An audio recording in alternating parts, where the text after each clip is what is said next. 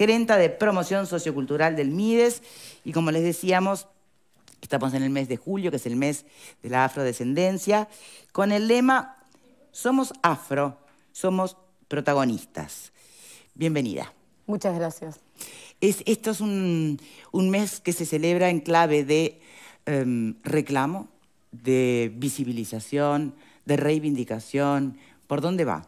Bueno, el Ministerio de Desarrollo Social eh, hace mucho tiempo realiza eh, en el mes de julio, por cada año, eh, el mes de la afrodescendencia. Es un mes de visibilidad de la población afrodescendiente y también es un mes de rendición de cuentas de lo que se viene haciendo en relación a la afrodescendencia en materia de política pública, tanto en desafíos como avances. Bien, yo no sé usted, seguramente ustedes ya estuvieron leyendo la información, muchos el periódico, la prensa, pero ¿saben eh, ¿Cuántas personas afrodescendientes hay en nuestro país?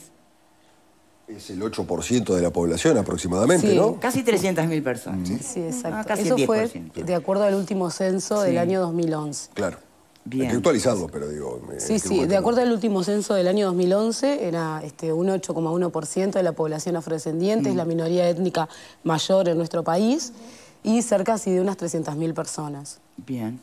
Y en no sé exactamente cuándo es que empieza a tomar fuerza en la sociedad, en, la cultura de la sociedad, el concepto de la visibilización justamente de minorías étnicas, su, reconocimiento, su, valor cultural, su aporte, em, cuando empiezan a dejar de ser vistos, primero ser invisibles, y luego de ser vistos como una cuota, ¿no? Con la que eh, eh, este mecanismo de discriminación positiva que hay que hacer para que ocupen un lugar.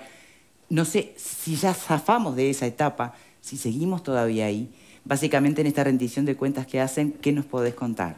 Bueno, eh, siendo un poco para atrás, desde el año 1852 a 1996 no se registraba ni se visibilizaba la población afrodescendiente en términos de registros por eh, pregunta de ascendencia étnico-racial. En el 2011, primer censo que se toma la ascendencia étnico-racial, principalmente la pregunta de afro-negra, ahí se empieza a tener un indicador específico. Después, recién en el año 2016, es que la encuesta eh, continua de hogares comienza a tomar también la ascendencia étnico-racial para relevar y para tener indicadores sobre una población específica pero venimos bastante rezagados en ese sentido, siempre un subregistro de la población afrodescendiente y recién ahora, luego de varios, principalmente de los movimientos sociales, de los colectivos afrodescendientes que se viene trabajando.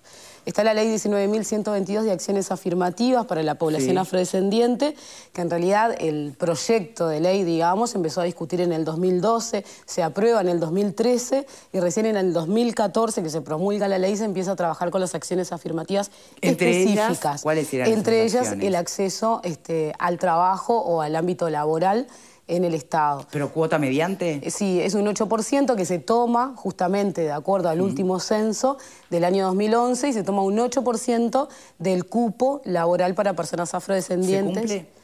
No, no se cumple. Eh, lamentablemente, desde el año 2014 hasta ahora, 2022, que es el último dato que tenemos, de acuerdo a lo que nos envía la Oficina Nacional de Servicio Civil, el pico más alto lo tuvo en el año 2018, pero con un 3,4%. El 2022 un 1,8%, estamos hablando que tenemos que llegar al 8%. Obviamente sí se está trabajando para dar cumplimiento, sí se han hecho eh, diferentes instancias, tanto de capacitación y sensibilización, porque son varias las razones por las cuales no se llega a un cumplimiento. Bueno, ¿cuáles son esas, esas varias razones? Bueno, primero poner en contexto la población afrodescendiente, que es una población... Este, históricamente, de alguna manera u otra, debido a los procesos históricos desde la esclavitud hasta ahora, eh, por el racismo estructural. Esto ha generado que la población afrodescendiente tenga también una deserción muy temprana del sistema educativo formal. Mm. A esto me refiero a que eh, dentro del universo de primaria tanto la población afro como no afro logran culminar en un 90-95% este, para afro y no afro. Pero cuando se ingresa, cuando tenemos el interciclo que pasamos a la secundaria, ahí se dan dos este, rasgos fundamentales que eso genera la deserción o el abandono. Una es lo socioeconómico, por el ingreso, la población afrodescendiente eh, eh, va a trabajar... Este, hablando como mal y pronto, más temprano que la población no afro y a su vez también algo que nosotros venimos trabajando muchísimo, que es el combate al racismo, porque justamente se dan en los centros educativos eh, situaciones de discriminación racial. Y ese es otro motivo por el cual también hay una deserción temprana en el sistema educativo y obviamente eso después repercute a la hora de, ir a trabajar o de tener un empleo con mayor remuneración o más calificado. Bien. Estaba pensando en, esos escenarios, eh, en los recreos, ¿no? En secundaria.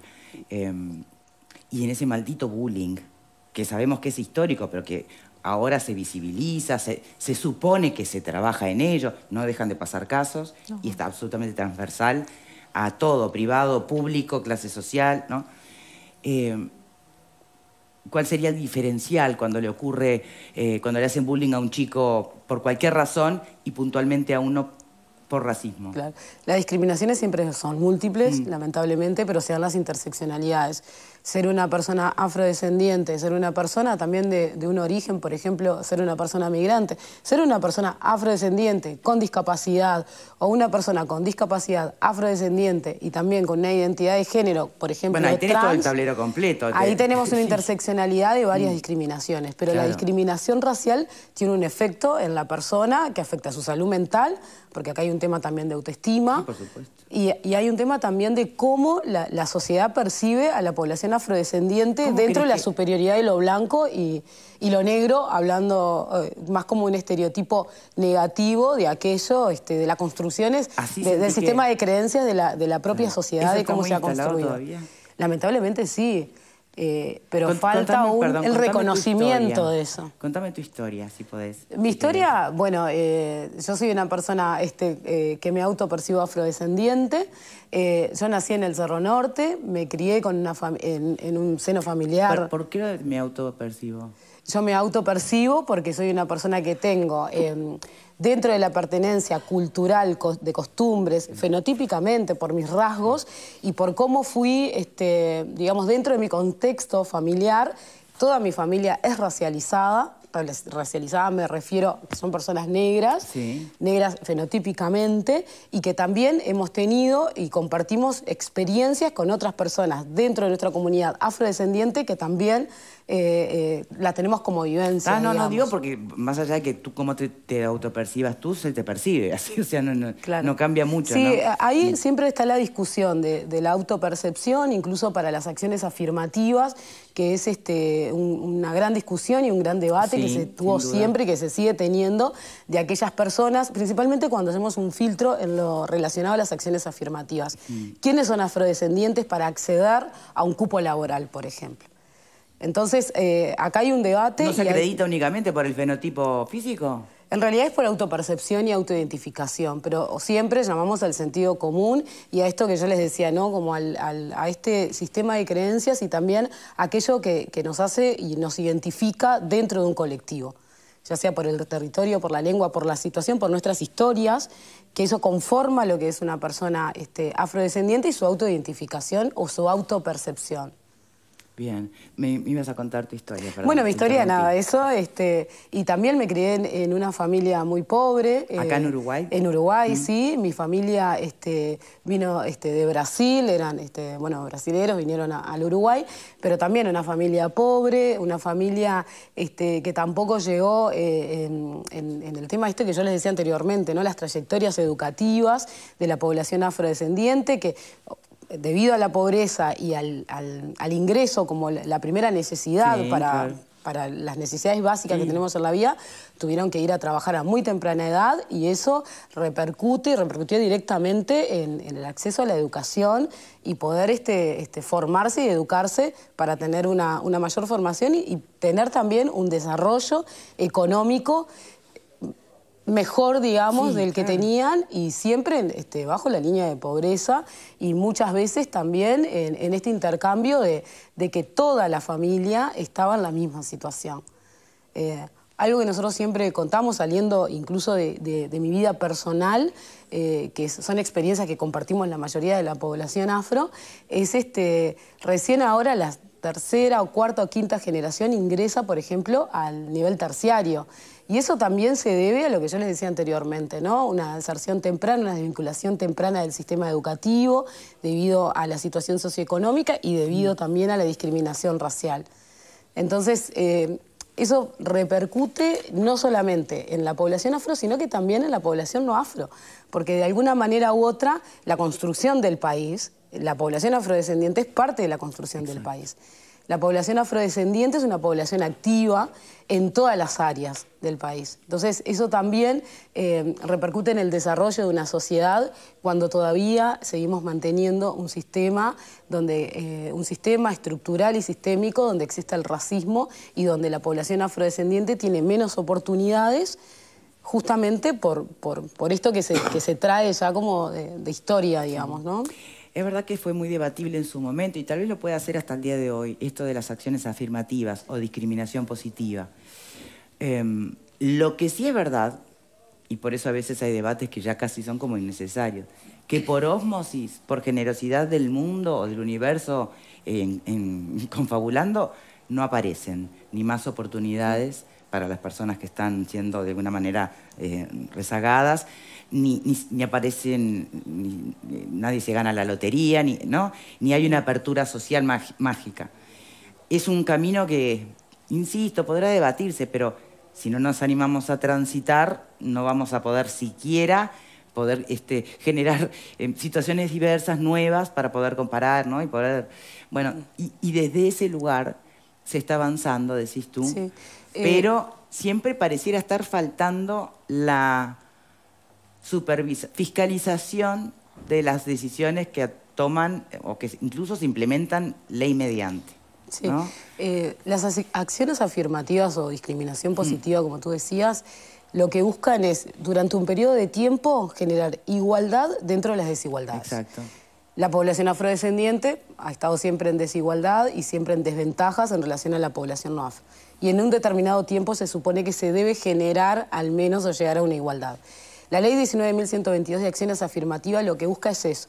Como justamente no se está dando un cumplimiento efectivo, aunque sí se está trabajando muchísimo, en la última rendición de cuentas se, hacen dos, este, dos apreciaciones que, para nosotros son muy importantes. Una es el artículo 4, que es justamente de ingreso al Estado, es el, artículo que habla específicamente de ingreso del 8% de laboral, se extiende y se prorroga durante 15 años más. Por esto que yo les decía que hay un periodo de tiempo para que la acción afirmativa cumpla la igualdad sobre las desigualdades. Entonces se hace una prórroga justamente por, por no tener este, el efectivo cumplimiento. Y por otro lado, venimos trabajando con la Oficina Nacional de Servicio Civil, que incluso vamos a hacer ahora el 24 la, presentación de la guía de implementación del cupo del 8% para todo el Estado, que es una herramienta fundamental si los organismos del Estado no envían dentro de su reserva de recursos humanos anualmente ya puesto el cupo del 8%, ese llamado no es subido, digamos, al, portal de Uruguay concursa y vuelve al, organismo hasta que el organismo efectivamente este, ponga allí la reserva del 8% para ser publicado. Y para nosotros es, es, digamos, como una sanción, ¿no? Aquellos organismos que no cumplen su llamado no será puesto en el portal de Uruguay Concurso y, por lo tanto no habrá si no, seguimos en el área del voluntarismo.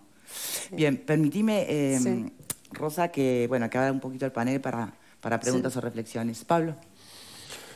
Yo creo que el tema del racismo, que es lo que estamos hablando, no se resuelven con leyes o decretos o discursos políticamente correctos. Pero tiene que haber una verdadera voluntad y una verdadera intención dentro de la sociedad de entender cuál es la situación y ver a todo el mundo por igual. El, Uruguay, el uruguayo es racista. Sí. El uruguayo es racista. Nadie lo va a reconocer. Nadie te va a decir, no, yo soy racista, no soy racista. No, yo no soy racista. Te dicen, tengo amigos judíos, tengo amigos negros, tengo amigos gay, tengo...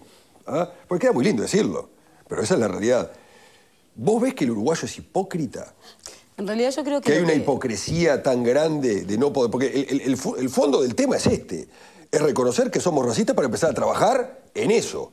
Ahora, si vos no lo reconoces, o por lo menos públicamente no lo decís, Pero por más que yo te decrete leyes, quiera cupos y todo lo demás, no los voy a cumplir. Bueno, a menos que haya un sistema que fiscalice y que tenga una consecuencia. pero el problema no es la sanción, el problema acá ah, es el... Vamos a ver si no es la sanción. El problema es el racismo, porque si a mí me obligás a cumplir un cupo pero determinado... Hasta que no, pero... sigo, y sigo siendo racista... Vas a dejar de serlo el día que te veas a la par ¿Entendés? y para eso tiene que, tiene que, haber lugares de, encargos importantes, circulando, en cualquier empresa, con cualquier objetivo, en el sistema educativo, pero tiene que haber un tema de, educación temprana en esto. Sí, eh, son, eh, primero como tú decías, hay un, hay un tema también de reconocer el racismo. Pues claro. Es muy difícil reconocer el racismo porque siempre hay alguna excusa de, como tú decías, no, yo no soy racista porque tengo un amigo negro, una amiga negra. Eso ya es racismo. Eso ya es racismo. Este, porque no se califican, no se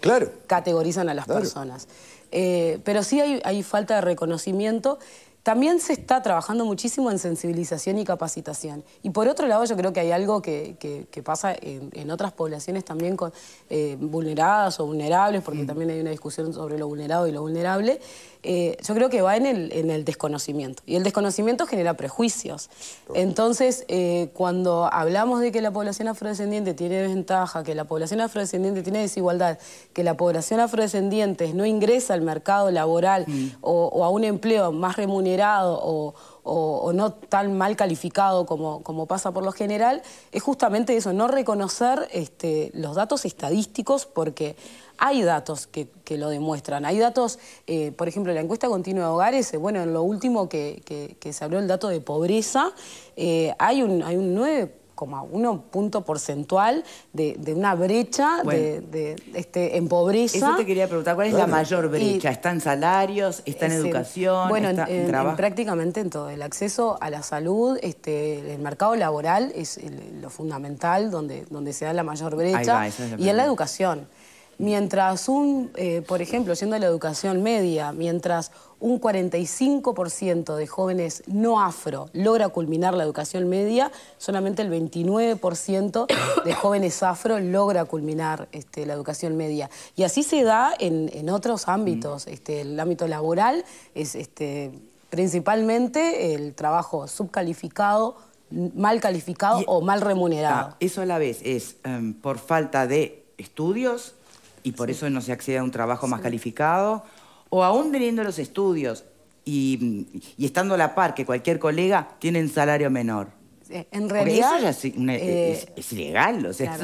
acá hay como varias aristas. Eh, una sí es eh, la, como les decía anteriormente, la deserción temprana del sistema educativo formal, eh, genera, una desigualdad de, mm. de, de, méritos este, de lo que podés este, presentar en un trabajo. Por ejemplo, eh, la ley 19.122 es de acceso al, Estado y muchas veces los llamados que hace el Estado, lo mínimo que te, solicitan es la educación media completa, que es el bachillerato. Entonces ahí ya tenés una desventaja y una brecha bastante importante. Y después, eh, como hablábamos anteriormente, hay un racismo estructural eh, que está y que al momento, o sea, nosotros hemos tenido a través de del Consejo Nacional de Equidad Racial y Afrodescendencia en intercambio con las diferentes instituciones y con sociedad civil, como también la Comisión Honoraria de Lucha contra el Racismo, la Xenofobia y otras formas de discriminación.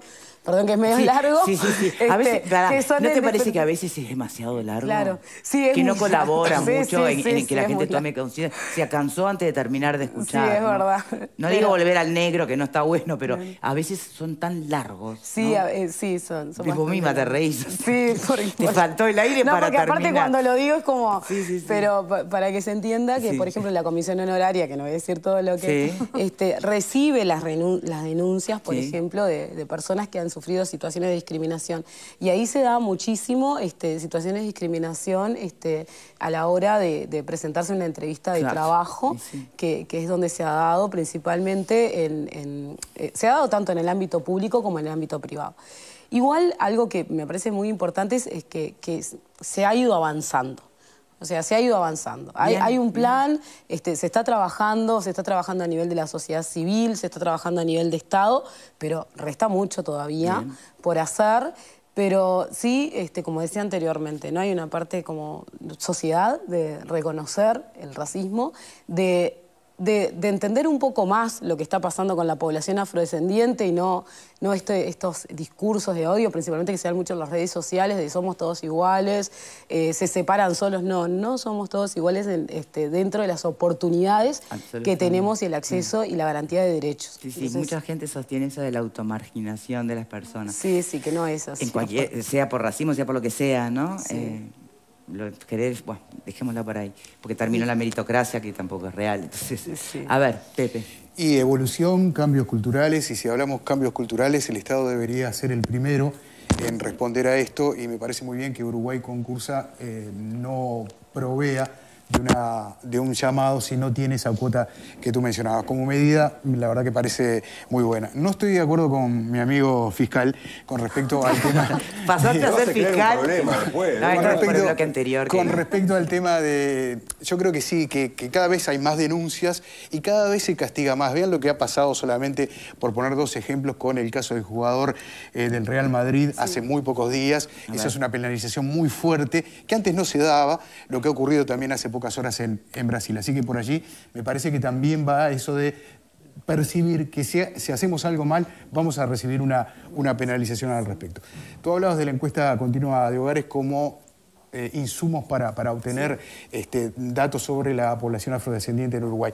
¿Qué puede arrojar el actual censo que está vigente? Que creo que también planteaba dentro no recuerdo todas las preguntas que respondí, pero planteaba esos temas, ¿no? Sí, bueno, nosotros eh, justamente eh, este año, eh, primero que se hizo el primer censo digital en Uruguay, hicimos una campaña de autoidentificación para afrodescendientes que se llamaba Somos Afro, lo hicimos en conjunto con el Banco Mundial, y justamente eh, trabajamos dos aspectos en esto. Primero, eh, la autoidentificación de las personas afrodescendientes y por otro lado, este, para qué es importante la autoidentificación y justamente los insumos que vamos a tener y los datos que vamos a tener para tener eh, actualizado cuál es la situación en un mapa actual de la población afrodescendiente en todo lo que toma el censo de población y vivienda. ¿no? que, es salud, vivienda. Sí. además este, trabajamos muy bien también el tema de la, pregunta de ascendencia étnico-racial, que, esta vez, eh, si bien en 2011 fue la primera vez que se hizo el reglamento de la variable de ascendencia étnico-racial poniendo afro-negra, esta vez también se, hacen dos preguntas, que la primera es cuál es tu ascendencia étnico-racial, afro, negra, asiática, blanca, indígena u otra, y después una segunda pregunta que dice cuál crees que es tu principal ascendencia y ahí también este, te vuelven a poner las mismas categorías. Para nosotros es muy importante, obviamente, para los insumos y para este, tener, eh, como les decía, ¿no? un mapa actual para tener un foco después en políticas focalizadas de acuerdo a lo que nos arroje este, este censo de la población afrodescendiente. Bien. Eh, Valeria, pregunta. No, yo en realidad eh, la consulta que, se me ocurre en realidad es cómo ha cambiado este, la situación en el país en, cuanto a la cantidad de inmigrantes que han venido y cómo muchos de ellos, o quizá la mayoría, además de tener esa condición de ser migrante, que te contratan, que son contratos chatarra, que no tienen derecho a más, además la mayoría son afrodescendientes, ¿no? ¿Cómo incide en nuestra población? Me imagino que ustedes lo deben tener relevado. Eh, y también en lo que tiene que ver con el Estado, esto no como pregunta, ¿no? Muchas veces pasa y la gente no, se no, lo percibe, de que hablan de que como que las cuotas son beneficios, ¿no? O sea, personas con discapacidad, eh, obviamente afrodescendientes, y, y cómo en realidad a veces ni siquiera tienen la posibilidad de acceder a la cuota porque el Estado pide ocho cargos o pide cinco cargos. Mm. Y pensemos en el porcentual, ¿no? O sea, realmente efectivos, ¿cuántos cargos terminan siendo para esas pero cuotas? Pero ni siquiera se cubren. No, o sea, ni siquiera se cubren, pero además o sea, el Estado tiene que generar algo que no genera y por eso no llega, que es que capaz que tiene que sumar cinco concursos para que entre una persona afrodescendiente y cómo esos controles, obviamente el Estado no los tiene y ni siquiera los cubre, ¿no? Pero me interesaba saber esto de, de los este, de, los migrantes, ¿no? para que si sumamos a Marta, pues si no se nos va a ir con Marta. Yo lo que me quedé pensando es algo que tú dijiste que es la deserción a nivel de educación media, ¿no? Sí. Entonces, en realidad lo que yo apunto es, si realmente podemos aspirar a que, a que tengan una inserción laboral en trabajos de mejor calidad, que les permitan una vida digna, es creo que es esa la población foco en la que tienen que trabajar. porque si no, se vuelve como un círculo vicioso. Sí, sí. Este, entonces, bueno, ¿qué acciones específicas están tomando con los jóvenes afro para que puedan terminar sus estudios. Bueno, justamente eh, en esto de, este año de Somos Afro, Somos Protagonistas, algo que ha hecho el MIDES eh, fundamentalmente en esto de ser protagonista es priorizar en cada uno de los abordajes, programas, acciones que tiene el MIDES y sus intervenciones, principalmente en foco y formación. Eh, en el foco, perdón, de educación y formación. Por ejemplo, INJO Avanza, que es un programa este, de inclusión social para jóvenes en situación de vulnerabilidad social. En este momento tiene un 33% de jóvenes afro que participan de ese programa. Es un programa que justamente lo que busca es que los jóvenes logren culminar sus trayectorias educativas, pero tienen un acompañamiento, tienen una beca también eh, socioeconómica y principalmente eh, un proyecto para la culminación de las trayectorias educativas y una oferta educativa para una formación específica para lo que les decía anteriormente, ¿no? Este, poder tener después un, eh, en el mercado laboral este, una mejor remuneración o, como tú decías, un trabajo de mejor calidad, digamos. Después tenemos la ciudad universitaria, también del INJU, que es otro programa también de inclusión social de trayectorias educativas, que el 12% son jóvenes afro, que son jóvenes que vienen del interior del país, y por otro lado tenemos junto a Progresa de la Universidad de la República, tutorías de pares para jóvenes afro. Está bueno. Bueno, todo podría indicar que se puede visualizar un cambio en las próximas generaciones, si esto no decae, por supuesto, ¿no? Y si se sigue profundizando. Rosa Méndez, un placer tenerte con nosotros. Bueno, muchas gracias. No, por favor. Hacemos una pausa y ya venimos.